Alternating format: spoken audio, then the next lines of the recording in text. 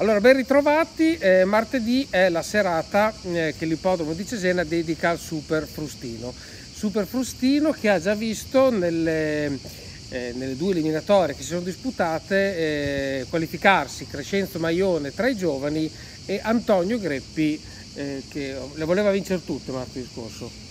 Poi ha detto no, qualcuno la lascio lì, sì, un vabbè, po' fatica sì, l'ha fatto. Sì, eh. Le prime due aveva 20 punti, le prime due e un secondo, per tre corse ha fatto due primi e un secondo le prime tre corse, dopo si è calmato un attimo, però sì, proprio... Sì, tu pensi Edoardo Baldi è arrivato secondo, fa 17 sì. punti, sembrava l'ultimo dei sì, vulcani, sì, cioè, vuol dire, 17, ne ha vinta una... una volta secondo, sì, di fatto. Ma secondo te un guidatore per vincere il Super Frustino che cosa farebbe?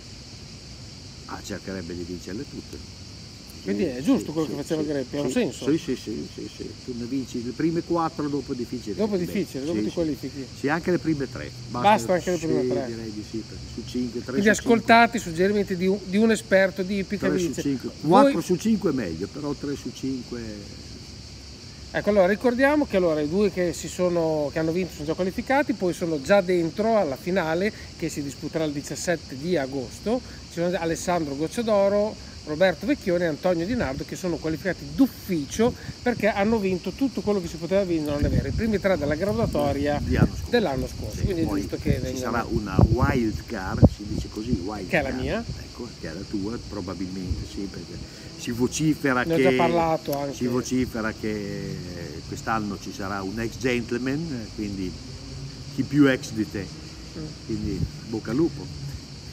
Eh, eh, soprattutto chi più gentleman eh, di, di, me, ma nel senso che io proprio rosa a tutti, sì, sì, sì, solo lì, lì.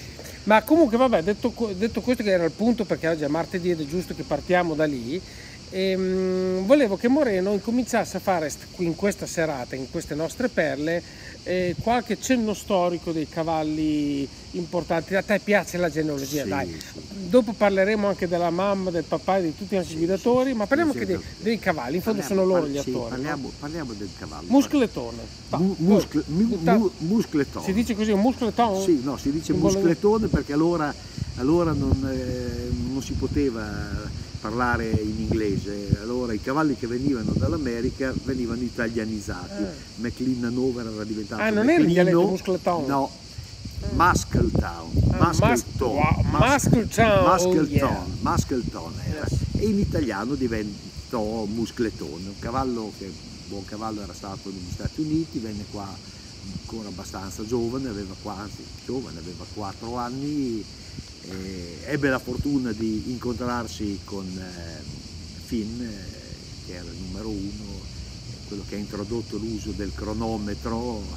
Cioè, davanti a un bicchiere di whisky, ciao sono Finn, sì, no, io sì. sono Muscletown. Sì, era, Finn no? era un, eh, un russo che era scappato dalla rivoluzione russa prima in Francia, poi di stanza in Italia che creò tutti a cavallo degli anni 20, 30, 40, tutti i migliori cavalli de, de, de, dell'epoca, eh, è stato a servizio di, di eh, Orsi Mangelli, di Castelvetro, di, di, tutti, tutti migliori, di tutti i migliori proprietari di quell'epoca lì.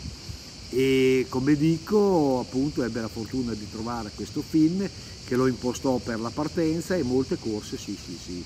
Eh, le vinceva in partenza, le vinceva, era un cavallo fenomenale perché vinse ehm, il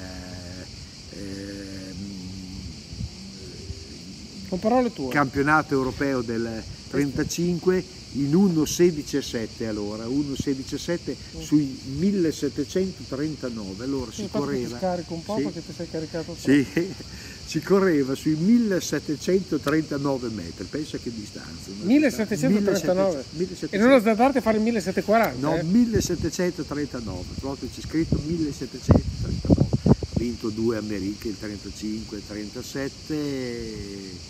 E, e, era un cavallo che se veniva aggredito eh, da un altro cavallo tendeva un po' a fermarsi, non aveva quella... Era un timido? Sì, però aveva quel parziale iniziale che poi con le piste che c'erano allora, sai, andare in testa era già una mezza vittoria. Certo. Ma adesso non aggiungere altro perché no. vi diamo appuntamento alla prossima perla. Mi raccomando perla. Eh? Ciao ciao!